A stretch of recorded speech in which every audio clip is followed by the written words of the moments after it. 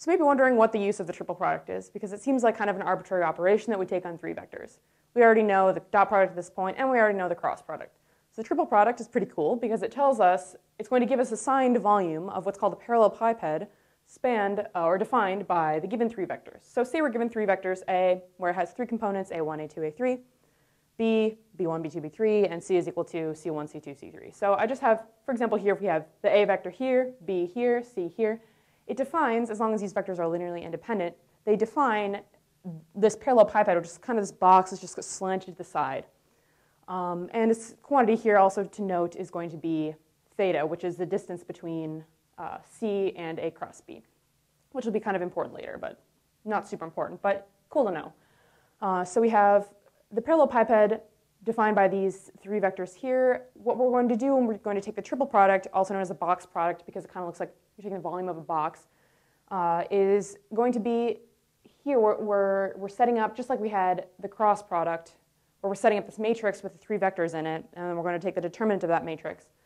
Um, so another way that you could kind of figure out that, that this is the case here, that this matrix holds, is you could just start by going, okay, so first, for example, if we have A cross B dot C, we set up the matrix I, J, K, B1, B2, B3, and then we take, or A1, A2, A3, we take the cross product of A and B, and then we dot it with C.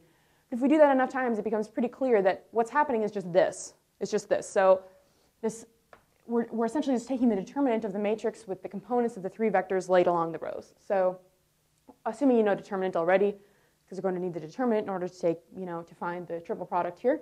So if we have A dot B cross C, which is equal to, as I noted here, A cross B dot C, this kind of circular property here we have, uh, we can just set up easily this matrix like this. We have A1, A2, A3, B1, B2, B3, and C1, C2, C3. And then we just take the determinant of that.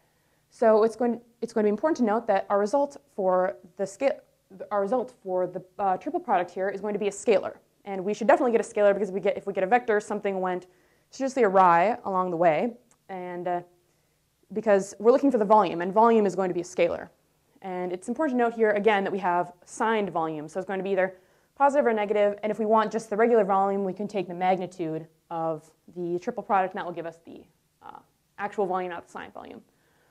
Okay, so finally, it's kind of a cool product here, a cool property we have here uh, is just as we had some way to define theta in the dot product and the cross product, we also have some way to define theta um, with the triple product. So theta here is the distance between A cross B, or is the distance in radians here between A cross B and, um, and the vector C. So we can find this quantity here, theta, we can find this angle here, theta, using the following formula, uh, where we have theta is equal to the arc cosine or inverse cosine of A cross B dot C, which is just this up here. Um, no need to take magnitude here. And then in the denominator, we have magnitude of A cross B. So magnitude of this vector here, all times the magnitude of C, which is this vector there. And that will give us theta, the angle between A cross B and C. So those are some cool products of, some cool properties of the dot product, of the, uh, excuse me, triple product. And just once again, it's important to note that geometrically what's happening when we take the triple products, we're finding the signed volume of the parallelepiped defined by the three given vectors. To return to the vector menu, click here. To see more additional practice problems worked out, you can click here. So to subscribe to our YouTube channel, click this link here. To visit our website, click here. And finally, to return to the main menu, click this link here. And remember, if you haven't already done so, you can purchase the Precalculus Blueprint by clicking on the link in the description of this video. Remember, it's only $1.95. Thank you for watching.